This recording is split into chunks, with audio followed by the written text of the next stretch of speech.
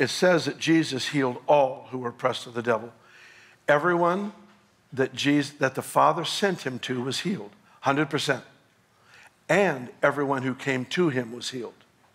But not everyone who was sick on the planet was healed. All right? In Acts 3, we have Peter and John walking to the gate beautiful, and they see a lame man who's been there for years. The implication is he was there when Jesus walked there. But for whatever reason, he didn't cry out, or the Father didn't lead Jesus to him. We don't know how, we don't know why. We just know that he was alive in the same city as Jesus when Jesus was healing people. Many believers make what I think is a huge mistake in creating theology around what didn't happen. Jesus never taught on unanswered prayers because he never had any.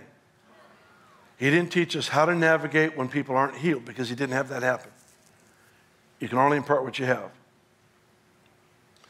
He was summoning us, inviting us, compelling us to enter into a stream of life, a thought of ministry where we do what he did, and that is we're all are healed. Now, I may never be good at this. I may stink at it my whole life. I just don't have the luxury of changing my assignment to what I do well. Most people look at their gifts, their skills, their talents, and they, they come to a conclusion what their ministry is by their gifts and talents. In other words, I'll define my ministry by what I'm good at.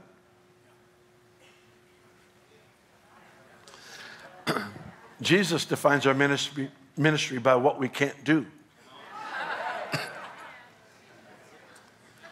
In Matthew 10, he said, Heal the sick, raise the dead, cast out devils, cleanse lepers. He didn't say pray for the sick. He, didn't say pray that they be raised from the dead. He, he didn't say that. He said raise them. Yeah, well, Bill, we're not healers. We, we pray for people, and that's how they're healed. I get it. It's just not what he said. He said, raise the dead. I don't know if you've noticed this yet, but the Father doesn't seem to have a problem making us uncomfortable. My comfort is not high on his priority list. he, I, I personally think he gives me commands that make me uncomfortable, so I'll need the comforter. Is that, is that combination? Here, I'm gonna, I'm gonna put you in way over your head. You'll have to learn how to pray now. I'm gonna put, I'm gonna give you an assignment that if you really believe and understand what this assignment is, you'll know it's impossible. That way, you'll really learn to pray. It's the Lord who puts us in these situations that are actually impossible to do.